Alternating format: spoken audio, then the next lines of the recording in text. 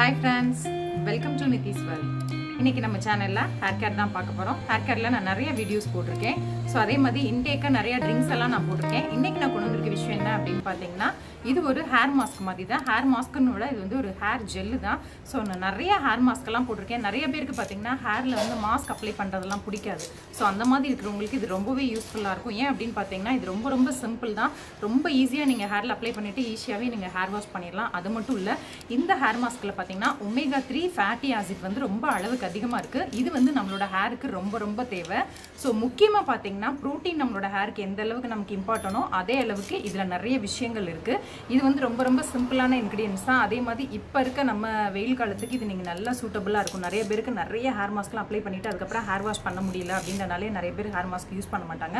இது ரொம்ப ரொம்ப சிம்பிள் மெத்தட் அது மட்டும் இல்லை இது ரொம்ப எஃபெக்டிவாக இருக்கும். ஹேரை நல்லா சாஃப்டன் பண்ணி கொடுக்கும்.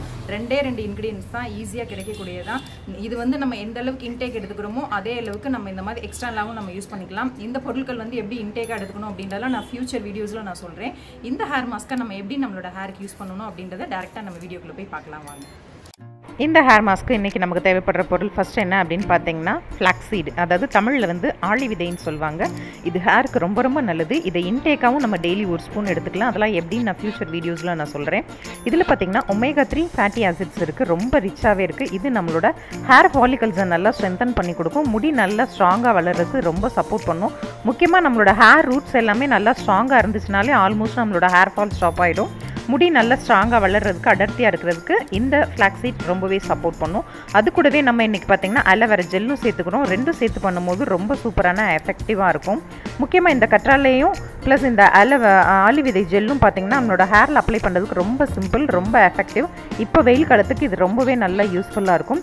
இந்த மாதிரி ஒரே ஒரு கற்றாழை லீஃப் நான் பிளான் பேஸ்டு எடுத்திருக்கேன். கண்டிப்பாக பிளான் பேஸ்டு எடுத்துருங்க. நீங்கள் ஆர்டிஃபிஷியல் ஜெல் இதுக்கு யூஸ் பண்ணக்கூடாது. உள்ளே இருக்க அந்த ஜெல்லை மட்டும் எடுத்துகிட்டு மிக்ஸி ஜாரில் போட்டு தண்ணி ஊற்றாமல் நீங்கள் திக் பேஸ்ட்டாக அரைச்சிக்கோங்க. இந்த பக்கம் கடாயில் நீங்கள் இந்த மாதிரி ரெண்டு டம்ளர் தண்ணி ஊற்றி அதில் ரெண்டு ஸ்பூன் வந்து ஃப்ளாக்ஸீட் ஜெல் எடுத்துக்கோங்க. என்னோட ஹேர் லெங்க்த்து உங்களுக்கு தெரியும் ஷோல்டர் லெங்க்த்து இதுக்கு நான் ரெண்டு ஸ்பூன் எடுத்துக்கிறேன். நல்லா லாங்கான ஹேராக இருந்துச்சுன்னா நீங்கள் நாலு டேபிள் ஸ்பூன் எடுத்துக்கலாம். இந்த கற்றாழை ஜெல்லை நான் இந்த அளவுக்கு நல்லா தண்ணி ஊற்றாமல் அப்படியே அரைச்சிருக்கேன். இப்போ நீங்கள் இதை ஃபில்டர் பண்ணி எடுத்துக்கோங்க. இப்போ இந்த பக்கம் பார்த்தீங்கன்னா அடுப்பு நீங்கள் வச்சு சிம்மிலே வைக்கணும். ரொம்ப ஹை ஃப்ளேமில் வைக்கக்கூடாது. ஒரு டென் டு ஃபிஃப்டீன் மினிட்ஸ் நீங்கள் எதாவது வச்சு மீடியம் ஃப்ளேமில் வச்சு இப்படி கிண்டிகிட்டே இருந்தீங்கன்னா இந்த மாதிரி பபிள்ஸ் வர ஆரம்பிக்கும். இந்த ஸ்டேஜில் நம்ம நல்லா அடுப்பை ஸ்லோ பண்ணிவிட்டு நீங்கள் கிண்டிக்கிட்டே இருக்கணும். கிண்டிகிட்டே இருந்தீங்கன்னா நம்மளோட எக் ஒயிட் மாதிரி அதாவது ஆலோவேரா ஜெல் மாதிரியே பார்த்தீங்கன்னா இதுலேருந்து ஒரு லிக்விட் வர ஆரம்பிக்கும். ஜெல் ஃபார்ம் ஆக ஆரம்பிக்கும். இந்த ஸ்டேஜ் தான் கரெக்டான கன்சிஸ்டன்சி இதுக்கு மேலே நீங்கள் விட்டுட்டிங்கன்னா ரொம்ப திக்காயிரும். அதுக்கப்புறம் நம்ம அதை ஃபில்டர் பண்ணி பிரித்து எடுக்க முடியாது இந்த ஜெல்லை ஸோ இந்த ஸ்டேஜில் நீங்கள் ஸ்டவ்வை ஆஃப் பண்ணிடுங்க ஆல்மோஸ்ட் எனக்கு இது பார்த்தீங்கன்னா ஒரு டென் டு டுவெல் மினிட்ஸில் ரெடி ஆயிடுச்சு இந்த பாருங்கள் எக்கோட ஒயிட் இருக்கும் பார்த்தீங்களா கிட்டத்தட்ட அந்த அந்த கன்சிஸ்டன்சி தான் கரெக்டான பதம்.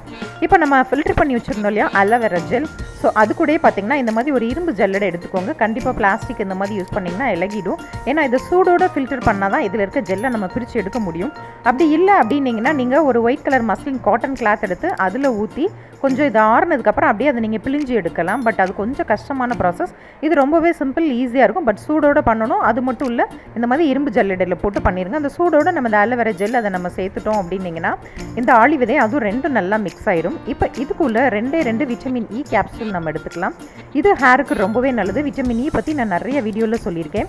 ரெண்டே ரெண்டு சேர்த்துக்கோங்க. விட்டமின் e இ இல்லை அப்படின்னீங்கன்னா நீங்கள் கோகனட் ஆயில் இல்லைன்னா பார்த்தீங்கன்னா ஆலிவ் ஆயில் இல்லைன்னா வெள்ளக்கெண்ணெய் எது வேணாலும் நீங்கள் சேர்த்துக்கலாம்.